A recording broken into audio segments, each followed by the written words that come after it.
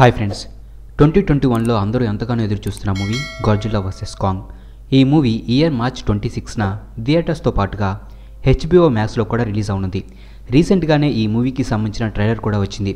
Fans ఈ trailer కోసం ఎప్పటి నుంచో ఎదురు చూస్తున్నారు సో ఫైనల్లీ ఈ మూవీ ట్రైలర్ రిలీజ్ అయింది. ట్రైలర్ చూసిన వారెవరికైనా గూస్ బంప్స్ రావడం ఖాయం. ఇప్పటివరకు ఈ రెండు టైటాన్స్ వేరువేరు మాన్స్టర్స్తో ఫైట్ చేయడాన్ని మనం చూసాం కానీ ఫస్ట్ టైం ఆ రెండు ఒకదానితో మరొకటి తలబడబోతున్నాయి. ఈ మూవీని ఎప్పుడెప్పుడు చూద్దామా అని చాలా ఎక్సైటింగ్గా ఉంది. ఈ మూవీని Blair Witch you're next VHS లాంటి హర్రర్ మూవీలను డైట్ చేసిన యాడమ్ వింగా డైట్ చేశాడు.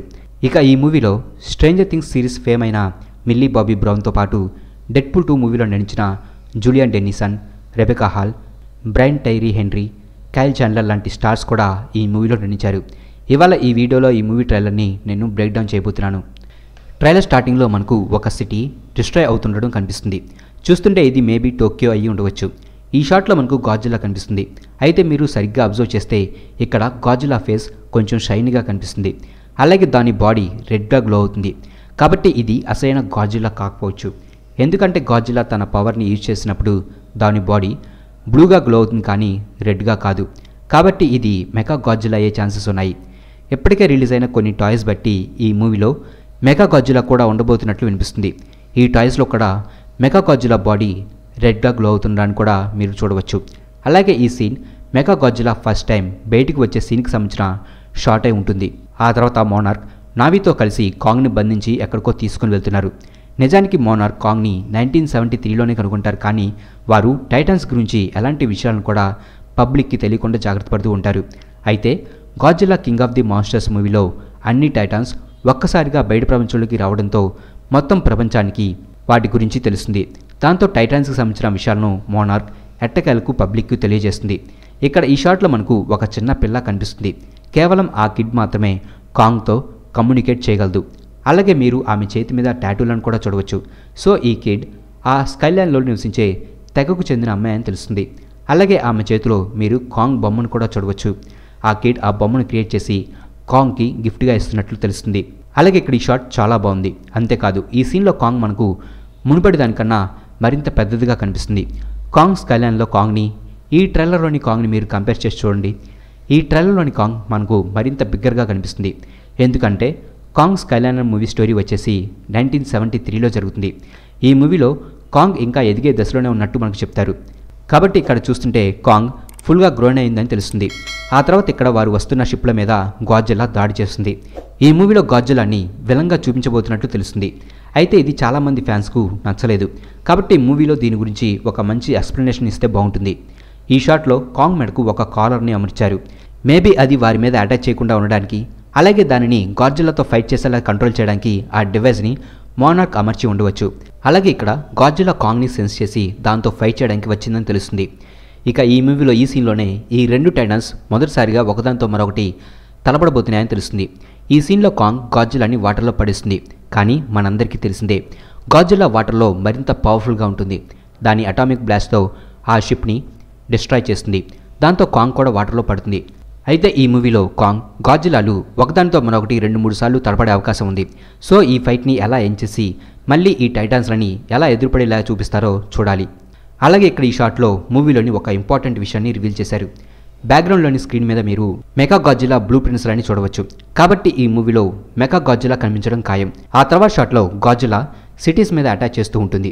అయితే అది ఎందుకు అలా చేస్తుందో మోనార్క్ కనిపెట్టే ప్రయత్నం చేస్తూ ఉంటుంది కానీ వారికి కూడా అది ఎందుకో తెలియదు ఇక్కడ ఈ బిల్బోర్డ్ మీద మీరు చూడవచ్చు. మోనార్క్ గాజులా అటాచ్ చేసిన ప్రాంతాలను మార్క్ చేసి ఉంచింది. అలాగే ఆ నెక్స్ట్ షాట్లో మిల్లీ బాబీ బ్రౌన్ జూలియన్లు ఒక మినీ వ్యాన్లో ఉన్నారు. సో ఇక్కడ మిల్లీ గాజులాని ఏదో రెచ్చగొడుతుంది. అది మనం చూడడం లేదని అంటుంది. సో ఇక్కడ మనకు క్లియర్గా ఒకటి అర్థమవుతుంది. గాడ్జిలా అలా సిటీస్ మీద అటాచ్ చేయడం వెనకాల మెగా గాడ్జిలా ఉండే ఛాన్సెసే ఎక్కువగా ఉన్నాయి. అలాగే మూవీలో ఆ గాడ్జిలా అలా అటాచ్ చేస్తున్నా కానీ దాని మీద ఇంకా కొంతమంది నమ్మకంతోనే ఉన్నట్లు కూడా తెలిసింది ఈ షాట్లో మనకు బ్రాండ్ టైరీ హెన్రీ కనిపిస్తున్నాడు. అతను కూడా ఆ కిస్ చెప్పే మాటలు నమ్ముతున్నాడు. అలాగే వారికి అతను హెల్ప్ చేయడానికి సిద్ధంగా ఉండడం కూడా తెలుస్తుంది. సో ఇక్కడ వారు గాడ్జిలా అలా ఎందుకు ప్రవర్తిస్తుంది? ఎవరు దానిని అలా సిటీస్ మీద అటాక్ చేసేలా చేస్తున్నారు లాంటి విషయాలను కనిపెట్టే ప్రయత్నం చేస్తున్నారు. అంతేకాకుండా ఈ మూవీలో రెండు టీమ్స్ ఉండబోతున్నాయి. వాటిలో ఒకటి కాంగ్కి సపోర్ట్ చేస్తుంటే ఇంకోటి కాజిలాకి సపోర్ట్ చేస్తుంది. ఈ షాట్ చాలా ఇంట్రెస్టింగ్గా కనిపిస్తుంది. ఎందుకంటే ఇక్కడ ఈ సీన్లో ల్యాండ్స్కేప్ అనేది చాలా డిఫరెంట్గా ఉంది. సో మేబీ ఇది స్కై ఐలాండ్ కావచ్చు లేదా హ్యాలో ఎర్త్ అంటే ఎర్త్ లోపల ఉండే ఇంకో వరల్డ్ అయి ఉండవచ్చు. కాంగ్ స్కల్ ఐలాండ్ మూవీలో కూడా స్కల్ క్రాలర్స్ ఎర్త్ లోపల నుంచి బయటకు వస్తాయి. అది ఈ ప్లేసే అయి ఉండవచ్చు. అలాగే ఈ ట్రైలర్లో కాంగ్ కొన్ని క్రీచర్స్తో కూడా ఫైట్ చేయడాన్ని మనం చూడవచ్చు. అవి కూడా ఈ ప్లేస్ నుంచే వచ్చాయని తెలుస్తుంది. అలాగే ట్రైలర్లో మనకు ఒక విషయాన్ని రివీల్ చేశారు. అదేమిటంటే ఇంతకుముందు కూడా యుద్ధం జరిగిందని ఇప్పుడు కేవలం అవి మాత్రమే మిగులున్నాయని. ఇక్కడ ఈ షాట్లో కాంగ్ ఒక యాక్స్ని పట్టుకొని ఉంది. అండ్ అది మామూలు యాక్స్ కాదు. అది గాజిలా స్పైన్తో క్రియేట్ చేసిన యాక్స్ అండ్ ఈ షాట్ కాంగ్ మొట్టమొదటిసారిగా దానిని దక్కించుకున్న సీన్కి సంబంధించిన షాట్ అని తెలుస్తుంది. ఇక చివరిగా ఆ రెండు కూడా టోక్యోలో ఒకదానితో మరొకటి తలబడుతున్నాయి టైలర్ మొత్తంలోనే ఈ షాట్ అదిరిపోయింది. గాజల అటామిక్ బ్లాస్ట్ని కాంగ్ తన యాక్ సహాయంతో ఆపి ఆ పవర్తో తిరిగి గాజుల మీద అటాక్ చేస్తుంది. సో ఇక్కడ కాంగ్ కేవలం పవర్ఫుల్ మాత్రమే కాదు అది చాలా తెలివైనదని కూడా తెలుస్తుంది. అలాగే కాంగ్కి యాక్ సహాయం అవసరమైందంటే మేబీ ముందు జరిగిన బ్యాటిల్లో కాంగ్ గాజ్జిలా చేతిలో ఓడిపోయి ఉండవచ్చు. గాజుల అటామిక్ బ్లాస్ట్ చాలా పవర్ఫుల్. అంతటి పవర్ఫుల్ అటాక్ని ఆపాలంటే ఆ వెపన్ కూడా ఇంకా పవర్ఫుల్ అయి ఉండాలి. సో సంభవ్ మోనార్కి గాజుల స్పైన్ దొరకడం దానిని వెపన్లా క్రియేట్ చేసి కాంగ్కి ఇచ్చి ఉండవచ్చు. లేదా కాంగ్ యాన్సెస్టర్సే ఇంతకుముందు జరిగిన బ్యాటిల్లో చనిపోయిన గాజుల స్పైన్నే వెపన్లా క్రియేట్ చేసి దానిని ఒక రహస్య ప్లేస్లో హైడ్ చేయడం వలన దానికోసం కాంగ్ వచ్చి ఉండవచ్చు. ఇక ఫైనల్గా ట్రైలర్ అయితే చాలా బాగుంది.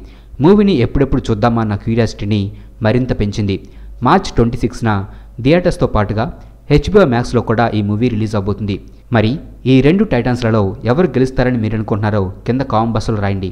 మా ఈ వీడియో మీకు నచ్చినట్లయితే ప్లీజ్ లైక్ చేయండి షేర్ చేయండి.